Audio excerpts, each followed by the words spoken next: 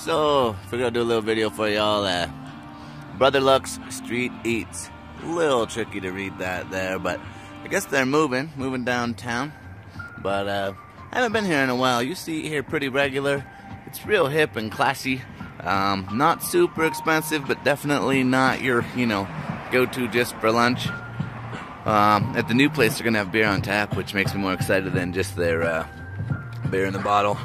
They do uh, big mixed drinks. They do course meals with uh, themes and whatnot. Give it a little shot here. So full bar, bottle beer. Now she's famous. A little extra seating in the back, but the new place is going to be a lot bigger. And um, let you know how the food is when we get some.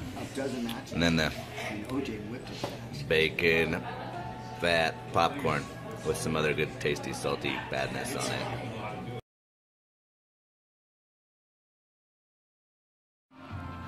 So, we're gonna do a little video for y'all. Uh, Brother Luck's Street Eats.